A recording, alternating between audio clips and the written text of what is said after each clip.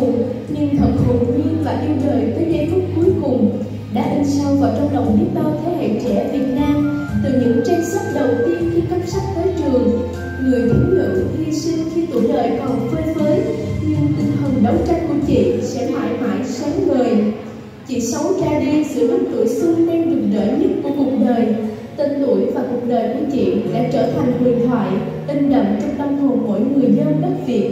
Cuộc đời chị một bài ca sáng chói sống mãi với non sông